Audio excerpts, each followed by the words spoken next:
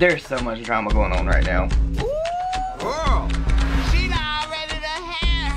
Hey, what is up all my social climate friends? It's Dustin and I'm back with another video. Before we get into this video, I just want to say that there has been so much that has went into this whole thing with Trisha, Ethan, Hila, Moses, Trisha's mom, and a whole bunch of other people that I am bound to miss something and this is what I have found. This is what I've seen on Twitter. This is what I've seen other people talking about and in no way by me missing something is that me trying to cover for Trisha because I know that people will try to say that.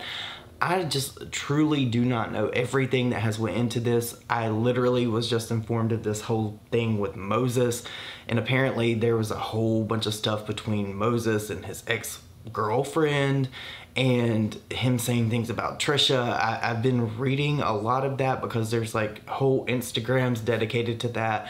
There's whole like Reddit posts and then there's like things on TikTok. So I'm trying to decipher that. I may talk about that. I may not. I don't really know if I want to dip my toe into that because that's some very, very, very serious stuff.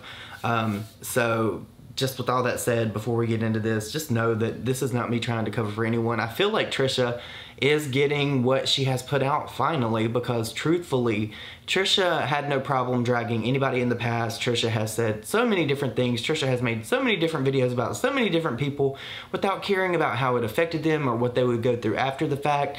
So I do believe in some kind of way that this is Trisha finally getting back what she has put out into the universe. Now, am I agreeing with the death threats and stuff? No, I don't think that anybody should be doing that, but holding someone accountable, if you find an inconsistency and calling them out on it. Accountability can sometimes feel like an attack when someone's trying to make you be accountable for the things that you've done in the past. So I feel like a good portion of this is actually people trying to hold Trisha accountable. It is what it is. Like you reap what you sow and finally everything that Trisha sowed for people is coming back to her. And it looks like it's tenfold and a lot of people are happy about that and a lot of people are upset about it. I'm kind of like in the middle. I mean, you can only do so much to people on the internet. You can only say so much. You can only do so much before it comes back to bite you. But Trisha basically, in my opinion, had just a nuclear meltdown yesterday. There's videos that Trisha posted to uh, Twitter that I'm gonna put in this video in a little bit once we get into it for you guys just to see how like dramatic and how crazy all of this is. And I'm sure that it's overwhelming. But like I just said, if you say things on the internet and they don't add up and people come for you, it's kind of your own fault. So first and foremost, people have started a petition that has almost 100,000 signatures, or it did have a hundred, almost 100,000 signatures. It had 98,297 when I took the screenshot. So people are trying to get Trisha Paytas removed from TikTok, Instagram, Twitter, and OnlyFans now. We've seen this in the past with a lot of different people. We know that that is probably more than likely not going to do anything one, because they never listen to these things, and two, Trisha pretty much knows everyone on these social media platforms that would be like a connect for her. So I don't think that this is in any way going to affect Trisha Paytas and the social media accounts that she has. Now there was a lot of tweets that Trisha put out yesterday concerning her and Moses. Like I said, I'm not really going to cover that in this video because I feel like that's a video in and of itself because there's just so much and just more and more keeps coming out about it. And I really truly, in that respect, for Trisha, I feel bad with some of the things that I've seen that have allegedly been said by Moses. Like, this is someone that Trisha intends to marry. This is someone that Trisha does seem to really care a lot about. And for all of these messages to come out, and then the other thing that is being accused of Moses is bad. So, I mean, in that respect, in that one thing, I do feel for Trisha on. If you ask me, I do feel like maybe the wool has been pulled over Trisha's eyes, and that's sad to me. So Trisha retweeted Keemstar, and Keemstar said, H3H3 fans planning to go after Trisha Paytas' sponsors. And Keemstar posted a picture of a Reddit thread that says, Send emails and tweets to Trisha's sponsors. Don't let Trisha weasel herself out of this one. Attack her money. Here are the sponsors I know of. Feel free to comment with any missed. Also tag YouTube and OnlyFans on Twitter as well. Now, this is a touchy subject for many YouTubers and going after sponsors and going after people's way of making money, I really don't feel like that's appropriate because at the end of the day, these people do need money to live. But on the other hand, it's like, well, if this person is hurting so many people and this person is doing so much damage to people, why are they being sponsored? So, I mean, it's kind of like 50-50 for me. I, like the whole sponsor thing. It, it's a mess. Then Trisha said it all starts from the Reddit that they control and monitor. We aren't just some random people they have beef with. We have stopped. They won't. They're doing this to Moses and his workplaces too.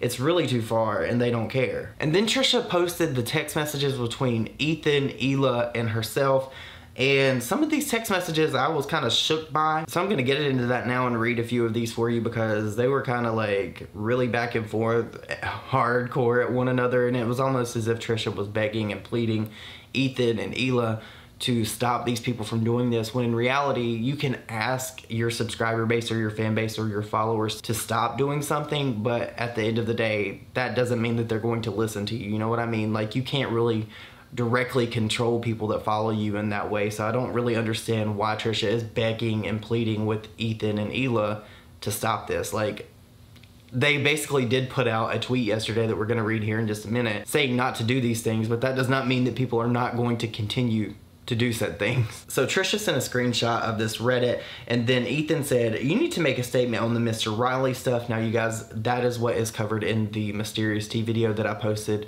and linked yesterday in my video. I really suggest that you go watch the Mysterious Tea series about all this. Now I do want to note that a lot of people are saying that Trisha has said that this could be possibly a different teacher.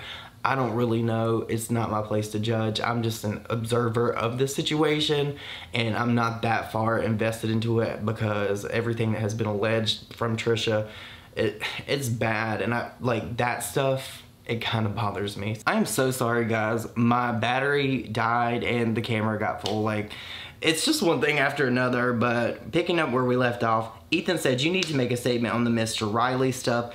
And Trisha responded and said, you do not get to tell me what I need to talk about. I've talked with his family. They were aware of the report I made as a child. They want it to go away. You do not get to tell me how to handle my essay. Ethan then said, this is FYI, not a private chat, so don't assume you have rights to privacy and I will share these screenshots if necessary. Trisha then said, wow, I'm pleading for you to just stop, please. And then Trisha sent this really, really, really, really, really long message that said, I'm begging and pleasuring for the last time to never mention me in passing again. Moses is now being falsely accused of. I was as a child and the family had no idea. Now they are getting harassed because you guys are allowing the subreddit to post his name. I'm happy the frenemies was taken down. I was told inaccurate information as I often misspoke on situations that I just believe without researching. I had reported this as a teenager, there are reports of it. Every single time you guys make jabs at me, the hate riles up. They have doxed Moses' ex-wives. They are tweeting to Morley's dance company that he is a and all of this is stemming from the H3 subreddit and your continued mocking of me.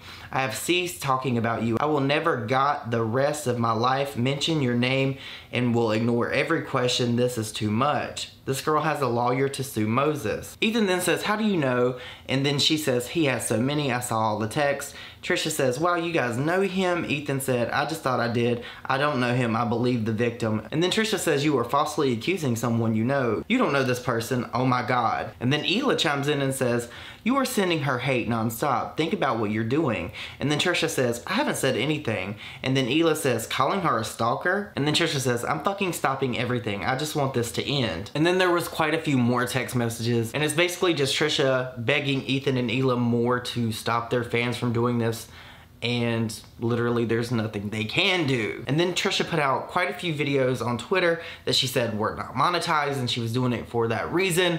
So I'm gonna put in a few of those here for you guys to see. I do wanna let you know that they are kind of hard to watch because Trisha is very upset. But like I said on Twitter yesterday, I can never really tell if Trisha is being genuine when she's crying or if this is tears because she wants something to stop. It's just also hard to decipher anymore because Trisha has lied so many times about so many different things. But I'll put that in here for you guys to see and then I'll be back with more commentary.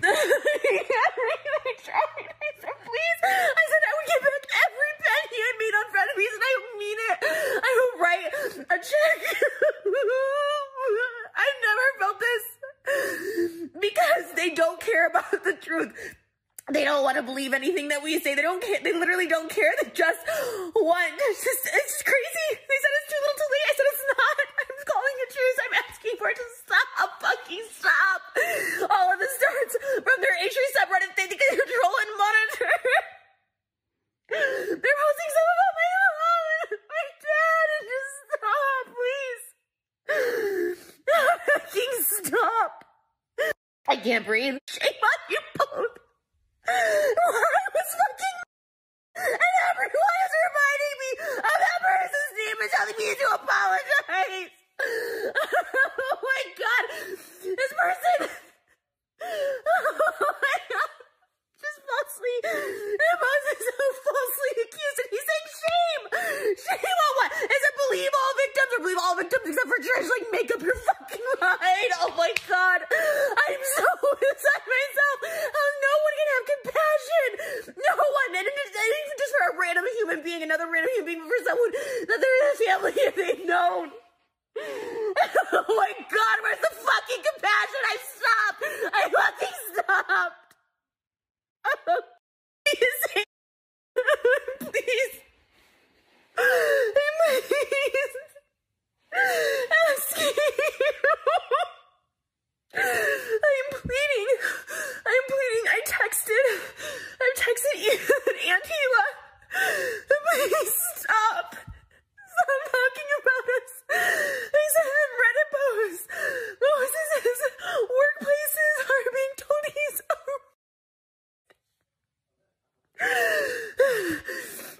My mom is getting the cops called on her for something that they know nothing about. People are calling cops. I just begged them to please stop. I stopped. I apologized. I asked what they want. And they told me it's fucking too little too late. And I'm like, it's not. It's gonna be too late when you just push, push, push. I have done a lot of fucked up shit. I have done so much shit, but no one deserves this. If someone asks you to stop talking about it, just stop talking. They won't stop. And it's not because they believe in whatever. It's, they're, they're, it's, it's literally just because they have hatred. I'm getting it from Ethan Hila, and he said, he's like, this is a private chat. I tried to call him. I tried to call him as I record the call. I'm just, I'm wanting him to know the fucking distress that I'm in. And you know what they're going to do? They'll make a whole video about this, put their ads in their sponsors. For what? What is this for? I don't care if you don't even know who the fuck I am if they didn't know me at all. I am begging for it to end.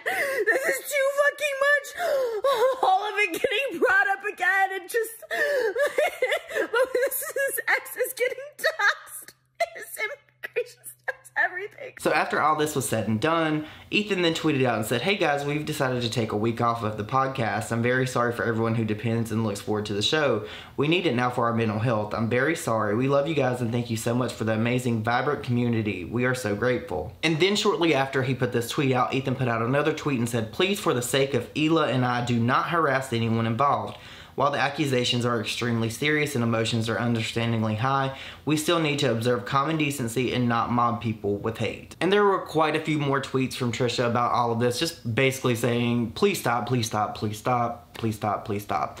And that's what we're left with aside from all this stuff with Moses. Now, I knew that the situation was going to be messy, and I thought we had reached the peak maybe about a month ago, but somehow here we are, and they're still going back and forth. And a lot of people think that I'm like siding with Trisha. I'm not at all siding with Trisha. I don't understand why anybody would say that when I've literally called her trash. Like, I don't get that. If I was siding with Trisha, I would literally have never in a million years made a video about all of this. And some people even think and have alleged that we're on payroll. Like that is the oldest and dumbest thing that people can accuse people on YouTube of.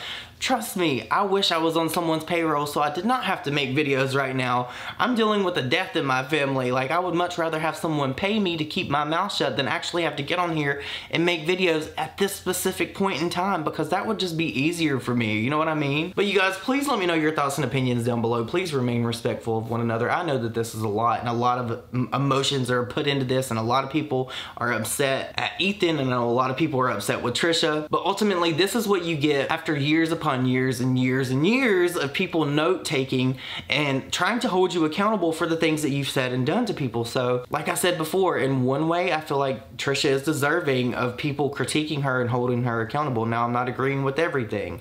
Holding her accountable is fine, and attacking her job and sponsors and making death threats and everything, that's not okay. But if you want to hold Trisha's feet to the fire for the things that Trisha has said and done, absolutely do that. And then on the other side of it, there's people mad at Ethan saying that he's made homophobic slurs and all kinds of different things in the past. But you guys, please let me know your thoughts and opinions down below. I hope you all have an amazing day and I will see you in my next video. Bye guys.